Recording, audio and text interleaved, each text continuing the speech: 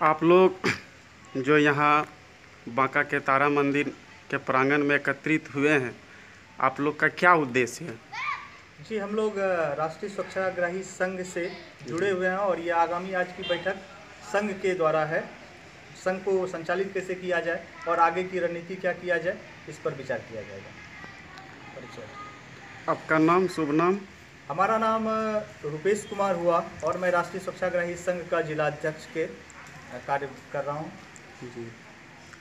तो आज से पहले भी कुछ दिन पहले भी आप अपना रणनीति तैयार किए होंगे आंदोलन भी किए होंगे लेकिन आपको ऐसा महसूस हुआ कि हम लोग के हित में सरकार कुछ भी निर्णय नहीं लिया जा रहा है जिसके कारण आप प्रभावशाली आंदोलन करना चाहते हैं? जी हाँ बिल्कुल इस बात में सच्चाई है कि आगामी हम लोगों ने यहाँ पर भी बैठक किया और यहाँ से लेकर के हम लोगों ने दिल्ली के जंतर मंतर में भी जा कर के धरना किया।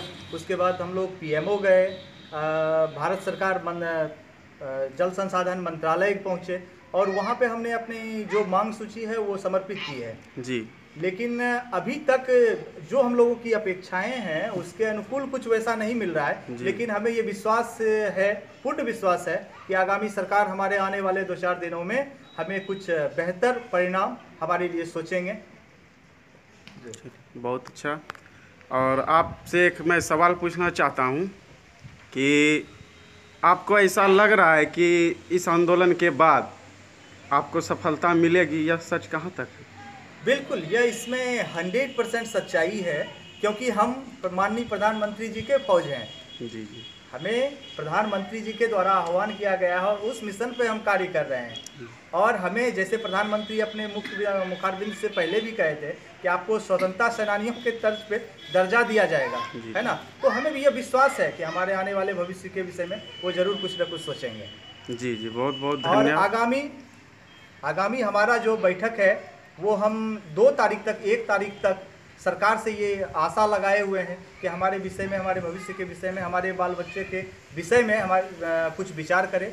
अगर वो विचार नहीं करते हैं इसके बावजूद तो हम लोगों का धैर्य खोना पड़ेगा और हम लोग एक विशाल आयोजन पटना के गांधी मैदान में जा कर के करेंगे, धरना प्रदर्शन करेंगे और उसमें हमारे पूरे बिहार ही नहीं, यूपी, राजस्थान, हरियाणा सभी के स्वच्छाग्रही सभी अपने अपने स्टेट में जा कर के धरना प्रदर्शन करेंगे और ये अनिश्चितकालीन होगी।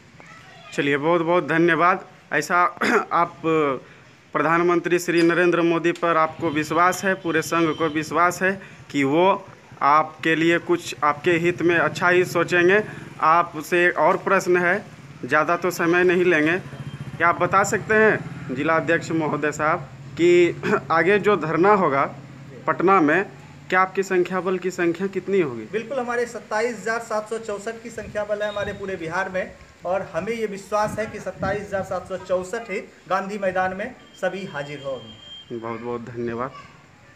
आपका भी बहुत बहुत